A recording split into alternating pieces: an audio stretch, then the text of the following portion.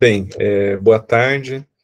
Eu hoje vou falar sobre, sobre esse texto, né, do Bernard Chineuli, da Michelle Noverraz e do Joaquim Dous, né, que é os Sequências Didáticas para o Oral e a Escrita, apresentação de um procedimento. Acho que aqui cabe um esclarecimento, né, esse material é um material que circula muito na, no ambiente da francofonia, é, e estrutura currículos né, de países francófonos, né? Então, por exemplo, na, na Suécia, na Suíça, é, na França, é muito utilizado. E é também muito utilizado no Brasil, né? Alguns, alguns, dos, é, alguns dos conceitos que estão aqui é, em livros didáticos. Quase todos os livros didáticos do ensino fundamental brasileiro trazem em suas referências é, esse texto. Pode soar um pouco estranho, né? Que algo que é de um grupo de Genebra, não é que circula no ambiente francófono, né, seja base, né, para livros didáticos brasileiros. Mas há um intercâmbio muito grande dessa galera com a Unicamp, não é? Então, eles de certa forma conhecem um pouco do trabalho de alguns é, professores importantes da Unicamp, como o João Vanderlei Geraldi, de um livro chamado Texto na Sala de Aula, lá dos anos 80, e então há muitos procedimentos em comum, muitas ideias em comum sobre, sobre a escrita. Então vou falar um pouco sobre as sequências didáticas, e eu começo né, com essa questão, não é? Se as sequências didáticas poderiam contribuir para a realização das metas que pensamos para dar um novo sentido à produção textual é, na escola brasileira. Não é que a produção textual na escola brasileira que sempre é bastante questionada, né? Eu sou um dos questionadores do que se faz em termos de produção textual. E eu coloco aqui como os desafios para essa produção textual é, romper com o ensino da redação e inserir a produção de textos, e ali tem um E e um O, são textos da escrita e da oralidade. Então, nas sequências didáticas, se acredita que gêneros da oralidade podem ser ensinados de uma maneira sistemática. Então, a primeira questão é romper com essa ideia da redação escolar e os alunos se apropriarem é, aprenderem na escola gêneros que circulam socialmente e também os gêneros é, literários. Então, nessa direção, diversificar os gêneros textuais produzidos na escola, né, introduzindo práticas significativas de fala e escrita.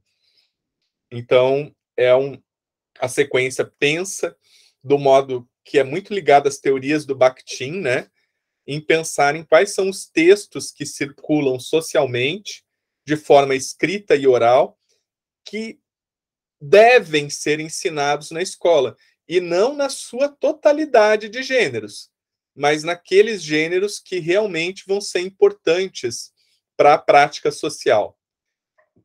É, Outro objetivo é, é, tornar os alunos autores, escritores que saibam modular sua escrita em diferentes situações de escrita e fala. Aqui não é só escrita, mas é fala também. Então, entende-se que há uma tradição de ensino escolar em que o aluno não consegue modular sua escrita. Por exemplo, a, a popular redação do Enem. Não é? O aluno acaba levando da redação do Enem uma série de cacoetes de escrita, não é? E que não e que não estão adequados às vezes às situações de comunicação que inclusive exigem da, da gente às vezes usar uma situação é, um, um registro mais informal ou outra, outras estratégias de fala e de escrita, como eu pretendo mostrar mais à frente. É, outro objetivo é fazer com que os alunos sejam capazes de refletir sobre sua fala e sobre sua escrita. Não é um processo metacognitivo de saber pensar a fala e a escrita, avaliar o que eles estão escrevendo e produzindo e ver se aquilo que eles e os colegas estão produzindo está cumprindo com os efeitos. Vamos supor assim, eu faço uma reclamação é, no Reclame Aqui. Não é? Essa reclamação no Reclame Aqui, ela tem uma estrutura, né? Quem já fez isso, né? Não é? Normalmente você conta o problema que você teve, você pede para que se tome providências em relação a este problema. Quando que essa escrita vai ser efetiva? Se você tiver sua demanda atendida, certo? Então, é, se cria muitos mecanismos do aluno ver se realmente aquilo que ele produziu é efetivo. Se em uma situação de fala é, ele se saiu bem a partir de critérios é, objetivos. E nesse ponto, os professores é, têm que se tornar é, interlocutores dos alunos, não é? Tirar aquele medo que os alunos têm muitas vezes de entregar um texto para o professor não é? Mas ver que o professor é uma espécie de um, de um revisor, de um editor, de alguém que tem um conhecimento, é, de repente, mais maduro sobre a escrita e está querendo orientar para que a escrita deles é, melhore. Bem, esse aqui é um esquema inicial das sequências didáticas, e aí a gente vai para algumas diferenciações em relação a outras práticas de escrita, né? Então, aqui a gente tem algumas etapas, né? A apresentação da, da situação, a produção inicial, o número de módulos necessários para desenvolver algumas competências. Esses módulos podem ser tantos quanto forem necessários, e a produção final. Então, deixa eu pegar aqui. A apresentação é, da situação comunicativa. Aqui é um ponto assim muito é diferente. Vamos dizer que o professor proponha é, a escrita é, de, um, de uma crônica, não é? De uma, de uma crônica. Então, ele vai apresentar a situação comunicativa. Quem escreve? Não é quem é esse cronista? Não é? Esse cronista vai publicar sua crônica onde? Num jornal? Num blog? numa revista, no mural da escola, certo? Qual que é a linguagem da crônica? Quais são as possibilidades de linguagem desse gênero que é tão tradicional é, na escola brasileira? Certo? Então, aqui você apresenta uma moldura comunicativa. Quem escreve, escreve para alguém, com um propósito comunicativo, com uma determinada linguagem, em determinado suporte, e todas essas questões, né, suporte entendendo como livro, site, todas essas situações vão, de alguma maneira, determinar é, o estilo desse texto, certo? Então, essa situação inicial é, é muito importante.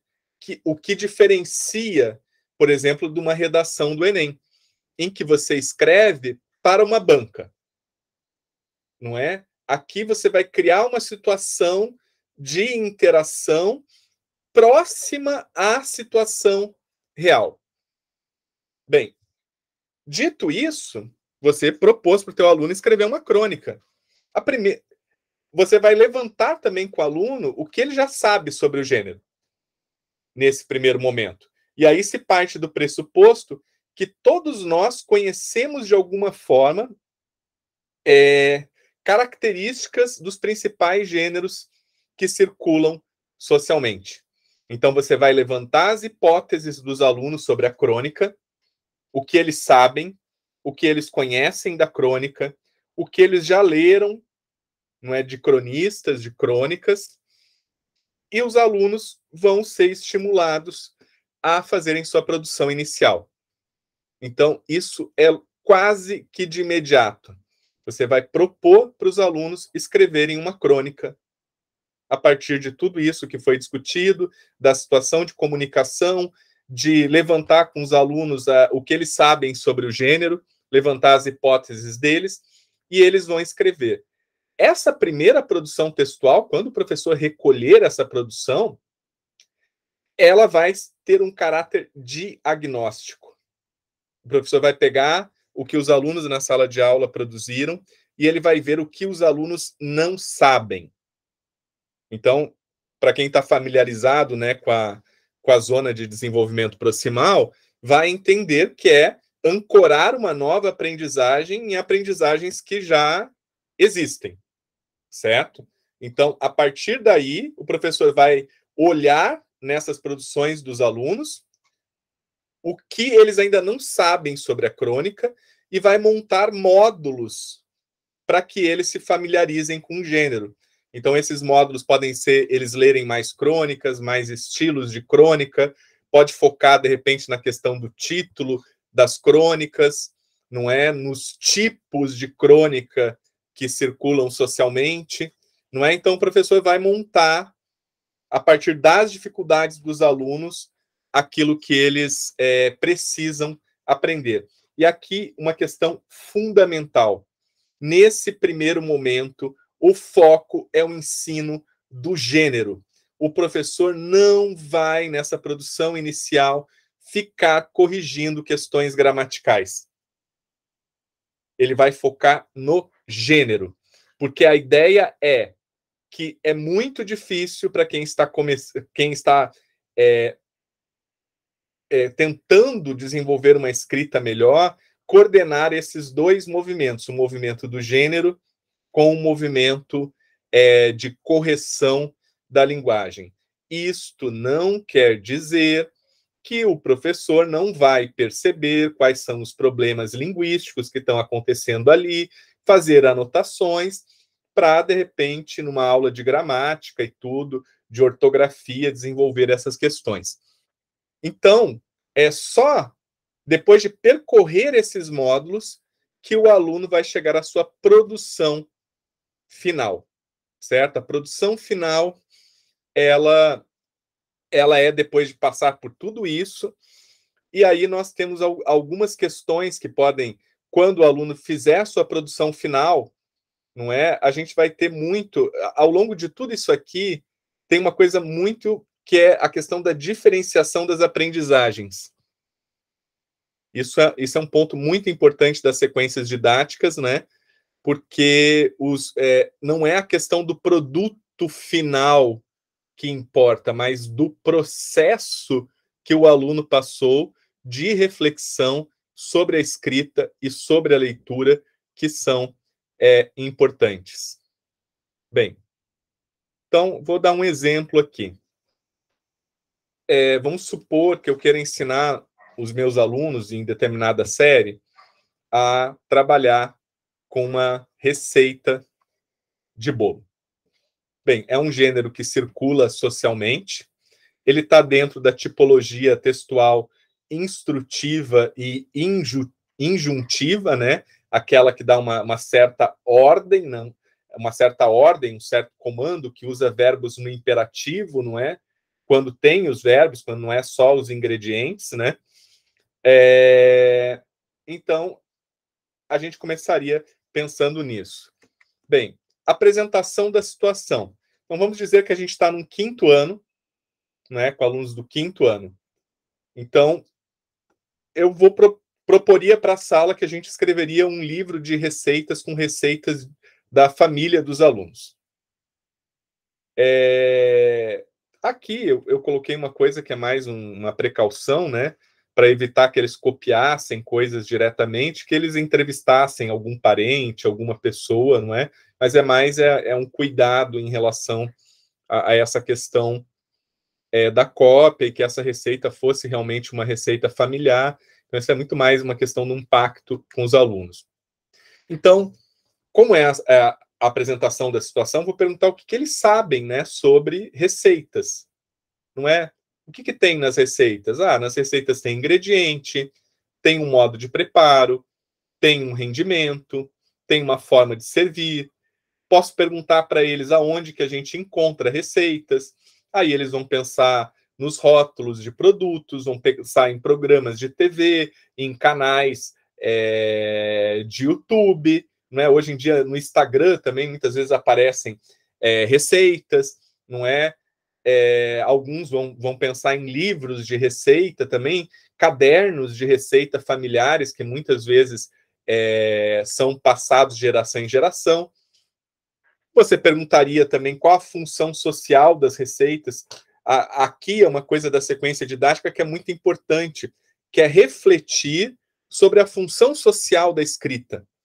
Então, sempre está perguntando, sempre está estimulando o que, que eles. Eh, para que, que serve uma receita, por exemplo? Para que, que serve tal gênero que eu estou estudando?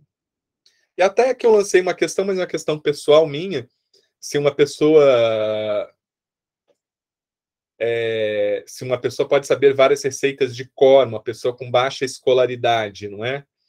Não é até para romper com essa ideia, apesar de ser um gênero escrito, né? Muitas pessoas conhecem receitas de cor e pessoas com baixa com baixa escolaridade, né? Minha avó era analfabeta e conhecia várias receitas é, de cor, né? As, a, tudo. Bem, então, a produção inicial, o professor pode. Isso é previsto na sequência didática, o professor pode pedir algo muito simples, né? Por exemplo, ah, como preparar pipoca, arroz, um macarrão instantâneo, porque essa produção inicial ela vai servir só para fazer um diagnóstico do que, que o aluno ainda não entende daquele gênero. Quer dizer, ele sabe sequenciar bem a receita? Ele sabe usar os verbos no imperativo. É, ele está preocupado com a questão das quantidades, do modo de preparo. Então, tem uma série de questões. E isso vai gerar aquilo que se fala muito nas sequências didáticas, que é a diferenciação das aprendizagens. Quer dizer que numa mesma turma a gente pode ter alunos que dominam completamente este gênero, outros que conhecem de um modo satisfatório, outros que conhecem parcialmente e outros que têm muita dificuldade. E isso não é um problema, certo? Não é um problema, porque eles vão aprender, inclusive, nesse contato é, com os colegas. Então, exemplo, pensei em alguns módulos. Então, peguei as, as receitas que eles fizeram, percebi algumas dificuldades e investi em determinadas coisas que eu poderia ensinar, por exemplo, trazendo é, receitas de vários lugares. Então, sei lá, a questão do uso dos verbos no imperativo, a falta de clareza nas etapas da receita, então poderia criar alguma atividade para pensar nisso. Se as quantidades é, estão é, bem expressas. Então, tudo isso a gente vai construindo o gênero. E aí, aquilo que eu já falei, não é? Aqui não é momento de gramática nem de ortografia nessa produção inicial, porque você está focado no gênero. Não é até um exemplo na sequência didática que está ligado à questão de uma aula de natação. Não é? Às vezes, quando você vai fazer uma aula de natação, você tem o dia que, por exemplo, você faz só braço. Não é? Para você corrigir o movimento do braço, a entrada da mão na água. Tem dia que você faz só perna para corrigir, não é a, a, questão da batida da perna correta para não espalhar água demais, não é? Então que que é algo que é feito que você separa os movimentos, por exemplo, na natação, para que depois você junte todos esses movimentos numa nadada perfeita. E que isso também poderia acontecer na produção textual. Eu, de alguma forma, eu separo alguns movimentos, né? para depois o aluno conseguir juntar. Inclusive a questão ortográfica e gramatical que vai aparecer na produção final quando faz sentido. Não é porque faz sentido um certo grau de correção, por exemplo, num material que vai ser publicado. Bem, aqui eu falo isso, então não é uma questão de corrigir todos os erros no quadro, até porque os erros são diferenciados também, né? Então, tem alunos que cometem determinados erros ortográficos e outros não. Então, o professor pode anotar questões que são recorrentes para ensinar para a sala se elas são realmente recorrentes, mas se houver algum aluno que está cometendo erros ortográficos que estão muito é, fora da curva do restante da sala de aula, o professor vai pegar e vai sentar com aquele aluno, vai conversar com aquele aluno, não é para que ele entenda alguma coisa que ele não entendeu ainda em relação a, ao idioma. Bem, passada as os módulos, né? Então, é o momento de pôr em prática esses conhecimentos que foram adquiridos. Pode haver uma avaliação de caráter somativo, né?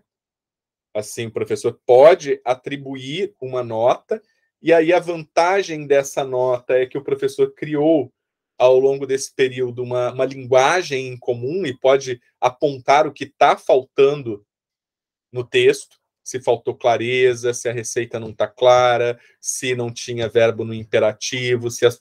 então quer dizer o professor tem uma linguagem em comum e isso vale para qualquer gênero, tanto da oralidade quanto da escrita. E depois é, a questão da publicação, que é importante, que pode ser num mural, num blog, é, numa página da escola, é, se fosse receitas, por exemplo, uma edição de um livro artesanal dos alunos, não é? é até o pessoal fala, ah, fazer uma sessão de autógrafos, né? Mas isso já é o isso já estou fugindo um pouco, é uma coisa mais do que você poderia fazer com essa produção é, dessa produção, dessa divulgação do material. E aí, sempre que a gente fala das sequências didáticas, é, surge muita gente que diz, pô, mas isso é impossível de aplicar dentro da sala de aula brasileira, não é? Apesar de as sequências didáticas nortearem é, uma quantidade significativa de, de livros didáticos, né? Como eu falei, quase todos os livros didáticos brasileiros se baseiam em princípios das sequências didáticas, Há muita coisa legal nos livros didáticos brasileiros de propostas é, de produção textual, mas que acabam barrando realmente naquela concepção de redação escolar, não é? Que quase todo mundo foi criado dentro dela. Então, eu vou pensar naqueles cinco tópicos que eu propus no começo. Então, se seria possível, por exemplo, romper com o ensino da redação. Então, eu acho que aqui é o grande ponto da sequência didática, né? Que é quando faz com que o aluno pense, né? Quem escreve? Por que escreve? Para quem escreve? Onde será publicado? Qual a função social desse tipo textual? Qual o tipo de registro linguístico? Não é? Porque a gente realmente pode assumir várias vozes, né? Você pode escrever, você pode ter uma situação que você está escrevendo como, como filho, para mãe, você pode ter uma situação que você está escrevendo como um morador de um prédio fazendo uma reclamação, você pode estar tá escrevendo na condição de um cidadão que está reclamando, sei lá, contra, contra a corrupção no país, contra a compra de imóveis em dinheiro vivo, né? Então você pode se colocar em várias posições, não é? Então essa escrita nunca é uniforme, porque conforme esse lugar de fala que você tem, você vai escrever de uma maneira diferente, né? E quero falar que, por exemplo, a prova da Unicamp de redação faz isso. Um, é, uma das últimas, é, a, na Unicamp, você pode escolher entre uma proposta ou outra. E num vestibular recente da Unicamp, o candidato tinha que escolher se ele iria escrever. É, era uma situação comunicativa assim. É, você foi estudante de uma determinada escola, Hoje você é vereador por São Paulo e você vai estar tá voltando ao Grêmio Estudantil da escola e você vai fazer um discurso nessa escola. Então, o que você vai escrever é o discurso e para se manifestar sobre a polêmica das estátuas dos colonizadores que tem em São Paulo. Então, como é que você vai se dirigir para esses alunos de um Grêmio Estudantil? Essa era a primeira proposta. A segunda proposta era uma proposta de escrever um diário da pandemia sob o ponto de vista de um entregador de, é, de encomendas de comida, por exemplo. Então veja que ali o aluno tinha que fazer certas escolhas linguísticas que, se ele usasse uma linguagem extremamente requintada, seria erro conforme a proposta que ele escolhesse. Aliás, nas duas propostas. Não é porque você não imagina que um jovem vereador falando com jovens numa escola vá utilizar, por exemplo, uma mesóclise. Quer dizer, está totalmente fora de contexto ou palavras difíceis. Como no diário lá do, do, do motoboy, havia possibilidade de se usar, por exemplo, abreviaturas, se utilizar até mesmo emojis naquele, naquele registro, e não estaria errado, porque estaria adequado ao contexto de comunicação. Então, eu gosto muito dessa parte da moldura comunicativa e acho que ela é bastante produtiva. Bem, a questão de nos transformarmos em interlocutores dos nossos alunos, não é? Porque aqui o que vale é o processo de escrita. Eu não estou tão preocupado com o produto final. Não que eu não queira ter produtos finais bons, mas o que me importa é que o aluno entenda que a revisão, que a reescrita, que tentar uma melhor forma de, de expressão são coisas naturais da escrita. Um escritor bem um, um escritor, alguém é, com uma produção literária de qualidade, revisa seu texto, pede para que outras pessoas deem opinião. Então, um bom texto escolar é um texto passível de revisões, de reescritas, de comentários, e os alunos têm que se sentir à vontade é, em relação a isso, a essa prática. Ler os textos dos colegas, o professor é, ler seus textos, então também tem a questão da revisão em pares, né? que é algo muito importante na sequência didática, né, de colocar o aluno também nessa posição de leitor de textos de outras pessoas e de avaliar o texto dos colegas. É, a questão de tornar os alunos autores, escritores que saibam modular sua escrita, não é? Então, volta para aquela ideia das diferentes formas de expressão, não é? De que a escrita é algo que depende de escolhas é, linguísticas que a gente faz é, conforme o contexto em que nós estamos inseridos, não é? E sempre lembrar que esses jovens que a gente tem hoje, essas crianças, estão inseridas numa cultura letrada muito forte. É, eles leem, eles são leitores, eles são espectadores, eles são internautas, eles passam vários textos por dia, eles compartilham conteúdos, não é? Então acreditar que eles produzem muitos textos, não é? Mas claro que tem aqueles textos que são os textos que a escola é, deseja que eles aprendam para a prática social e também para a continuidade dos estudos deles. Bem, a questão da diversificação dos gêneros textuais. Então, é, sempre a gente vê muitas críticas, né, que os, as, os jovens, as crianças brasileiras escrevem mal, mas poucas pessoas questionam, não é que o que eles escrevem mal é a dissertação do Enem, que é esse modelo, que é um modelo unicamente escolar, e que a grande dificuldade desse modelo escolar segundo João Vanderlei Geraldi, é que você escreve para ninguém.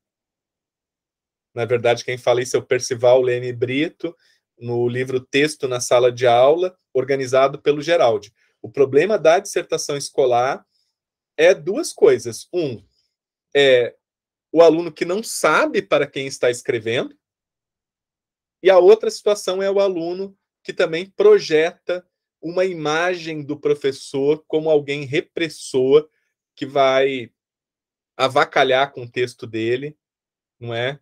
Que vai detonar com o texto dele e não como alguém que está ali para contribuir numa certa forma de interação, interlocução, e isso só é possibilitado por essa diversidade de gêneros textuais. Não, não é a questão de trabalhar com todos os gêneros, porque isso é impossível, mas é a questão de pensar em gêneros textuais, tanto da praxis social, nos seus vários, como diz o, o Bakhtin, nas suas várias esferas, né? A gente tem a esfera jornalística, jurídica, política, literária, não é? Então, escolher os gêneros que são importantes de serem ensinados na escola, é, para romper com essa questão é, de um único gênero que é ensinado na escola e que tem trazido resultados realmente muito ruins para a autoestima né, dos nossos alunos em relação às práticas de escrita e oralidade, que é um ponto que eu vou destacar em outro momento. Bem, fazer com que os alunos sejam capazes de refletir sobre sua escrita e fala. Acho que é sempre uma, é uma etapa muito importante do ensino de linguagem, que é a questão metalinguística, epilinguística, né? de atividades que, é, que estimulem o aluno a pensar sobre a linguagem, não é? Porque, por exemplo, se você está criando um personagem ficcional que mora no subúrbio do Rio de Janeiro e é ele que vai narrar a história, faz todo sentido que ele use uma série de gírias ali do espaço dele. Mas isso é uma construção linguística. E é uma escolha linguística que é totalmente coerente com aquela produção.